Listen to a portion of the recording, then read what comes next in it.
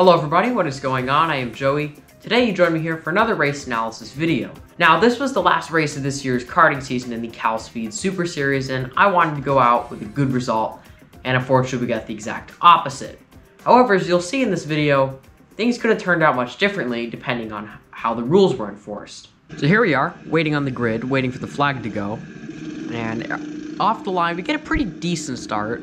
And I've had cart 59 before, and the thing with Cal Speed is some carts have good top speed and some don't. And this one off the line wasn't the best. And you can see already in turn one, really rubbing wheels. Now, I want you to pay attention, cart 38, because you're going to see we're going to have quite a few battles with him, and the main point of this race comes down. Now, going through Contino, I'm on the inside, which usually is the quickest way. But check this out, he holds his line on the outside, fully over the curb, and coming into the technical hairpin, I know as long as I keep him on the outside, I'm fine. Well, as you can see here, I end up having to go on the inside some, with some slower karts, and what that does is it forces me wide through the sweeper, and unfortunately, because it's a long radius turn, if you're on the outside, you're going to be the slow one. So we lost quite a few spots there, which I was not too happy with, but I couldn't do anything. And then through the technical complex, gaining a few positions, but then again, I get blocked. And that was the thing about this layout and just this race. I just kept getting blocked no matter how I took it. So lap one again, down the inside through the turn four, and people are going wide, and it's just chaotic. And that's how it is in the B main, I've learned in the Super Series. Look at three wide through bypass. It's just chaotic. So I'm constantly having to lift, and you can see we're already losing out big time to the guys in the front. Interesting part, actually, if you look, there's some sort of fire near the old steel mill. Not sure what that was about. Anyways, behind me, got a, some carts coming up. And look at 38 again, dives down in the S's. And I don't know about cart 38, I've never had it before, how it is power-wise, but it might have been quicker. Maybe it was me. I'm not exactly sure. And that was the thing about this race. Because the conditions were colder than usual, a lot of the karts drove differently. Now through here, I'm just trying to push, get in that Cal Speed draft as they call it, and just see if I can gain any positions, and I can't, and boom, there's the contact. And this ends up getting me a drive-through penalty.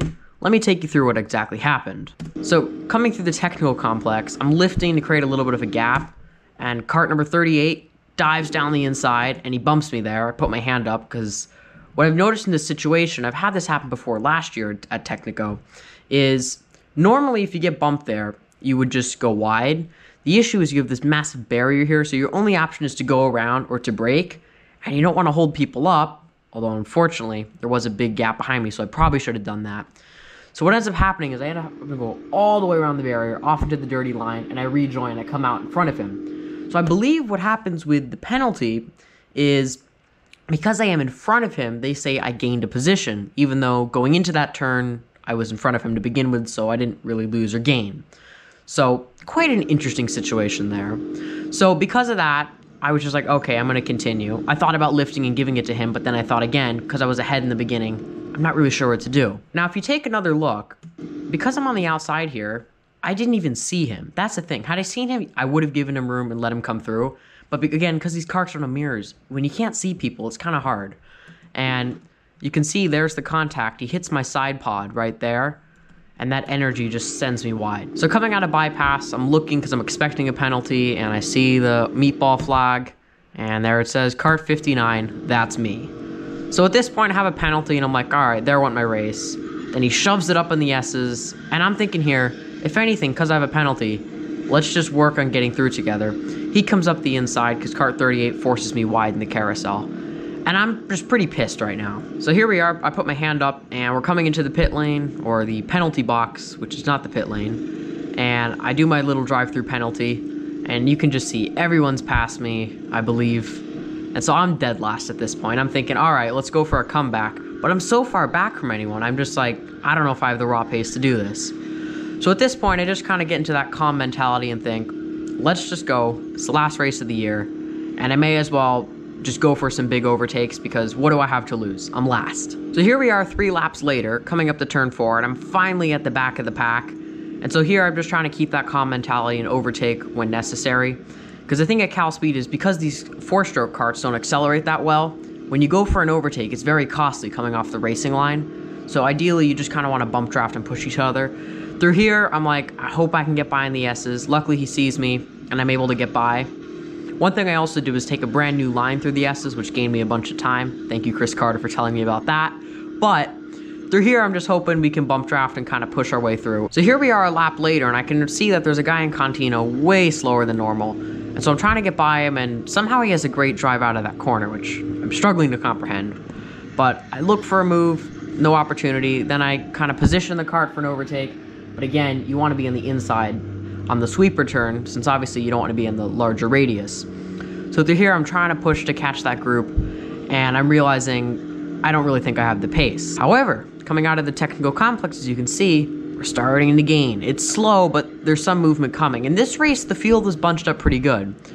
So I'm just trying to look for a mistake here, and all of a sudden, I bump him by accident there. He goes wide, and he gains a bunch from that, so I'm not too worried. And so this race was just, there was just a lot of sloppy racing everywhere. I noticed that. So through here, you can just see I'm relaxing on the straightaway and just waiting, because the corners is where I'm going to catch him. Catching, then I have to brake again and this is the thing about the technical layout. It's very hard to overtake, kind of like Classico in a way. And because of that, you really have to have a huge pace on the cart in front of you for an overtake. Send it down the inside, and it works, and then it doesn't work.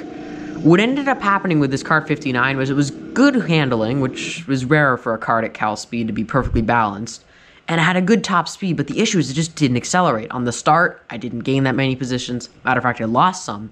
And you can see on that overtake, I lost a bunch coming out of the hairpin.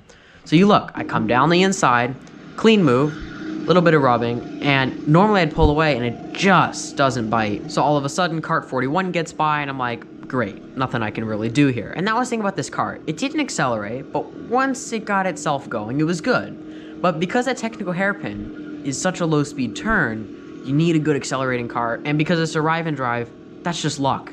And to this day, luck wasn't on my side. But I get a good drive on the top speed, and I send it down, and it works. And then again, it just doesn't accelerate. And it just flies right by me. So I'm pretty frustrated at this point. But then again, I'm thinking, if it's going to be like my last race, which I didn't do a video on because I was stuck behind the driver cart 41 for the entire race, I was just, you know, pretty much out of luck. Now, what was weird about this car was it was hitting the rev limiter or something on the straightaways. So I don't know if it was limited or had a good top speed and was able to reach it, but it was just weird. And I don't know what was with this car, but it kept varying performance throughout the race. Because towards the end of the race, it ended up losing speed. So I've never really seen that before. So coming up to the technical complex, I know I just gotta try to get on his rear bumper, give him a little bit of breathing room, and again, this car just doesn't really bite, which is very frustrating. And so I'm pushing, I'm pushing, trying to vary my line. I'm on the inside for turn four, and I go for it, and it works.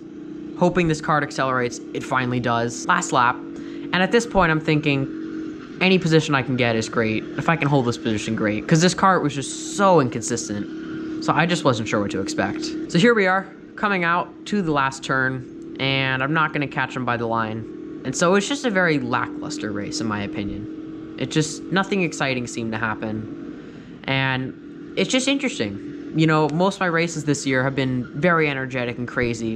In this race, that just wasn't the case. Now, I'm not usually the kind of person who's going to complain about the rules constantly and beg for things to be changed. Obviously, I wasn't even in a championship contending position. However, I was just curious on the rules because I had an instance where I was the cart who made contact, and one time I overtook someone, and I did get a penalty, and so I just wasn't sure where the rules came in, so I thought I'd read you a little bit out of the rule book just so we understand the situation. So according to Rule 10.1.3 on overtaking, it says, the overtaking driver is expected to obtain dominant position prior to the entry of both drivers into the upcoming corner. Dominant position is defined as the nose of the overtaking cart surpassing the imaginary bisectional line of the cart being overtaken that is considered to be the steering wheel of the cart that is being overtaken. Therefore, he would need to pass my steering wheel before I'd have to let him by in the corner. Looking at the situation, he definitely did not have dominant position, and I didn't even see him. That's the other thing. The other part I thought I'd go to is the rule on racing room, which says drivers are expected to give ample racing room and not force other drivers into a situation where they make contact, either with the drivers or walls, or where they force another driver off course. Now, in that situation, I had no other option but to go off course. Pretty interesting there that I ended up getting the penalty. And like I said, I think I got it because I gained a position even though I was ahead going into the corner and I stayed that way coming out. But it's the way it is. So it doesn't, I don't really care too much since I wasn't really fighting for anything to begin with. So there you have it. That was my race. Pretty interesting one. Unfortunately, not the way I wanted it to go. And I think for my very first full year doing the Cal Speed Super Series and the Cal Eastern Series, very happy with how it went. And next year we'll just keep pushing. So I hope you guys enjoyed this video. If you haven't yet, make sure to subscribe to the channel for more content to come. As always, I'm Joey, and I'll see you next time. Goodbye.